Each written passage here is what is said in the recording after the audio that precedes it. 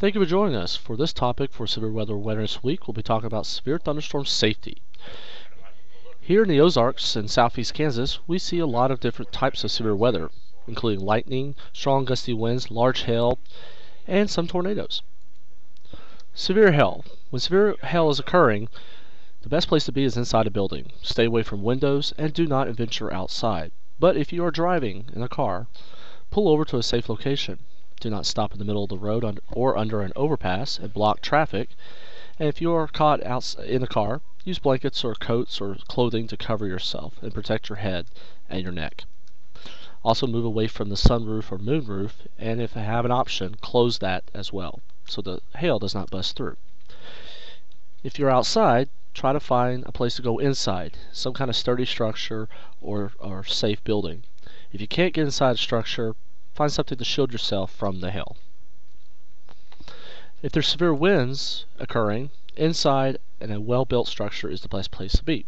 Move to the lowest floor and away from windows. If you're in a mobile home, best option would be to move to a stronger building if possible. If you're caught driving, keep both hands on the wheel. Pull over to the shoulder or a safe location away from traffic and stay in the car until the storm has passed.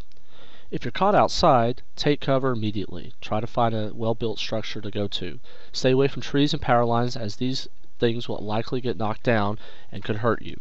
And also watch out for flying debris.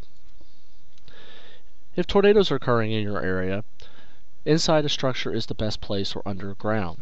Go to a pre-designated shelter area like a safe room, storm cellar, or the lowest level of the building at, that you're located at. Go to a small interior room or hallway and put as many walls in between you and the outside as possible. Put on sturdy shoes and do not open doors or windows.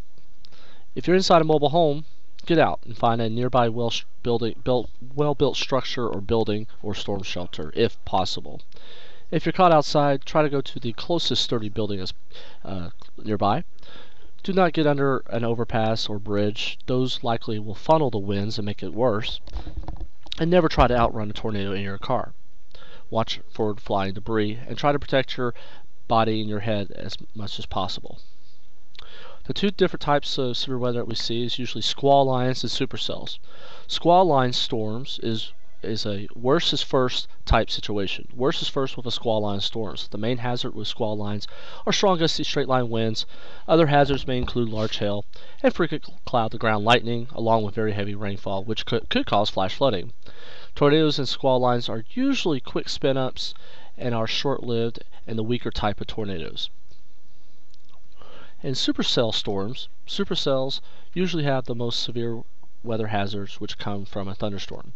Hazards include extremely large hail, golf balls up to baseball and softball size hail, damaging winds, frequent cloud to ground lightning, flash flooding, and tornadoes. This will wrap up the severe weather safety for thunderstorms. For more information, please visit us on our website weather.gov/springfield.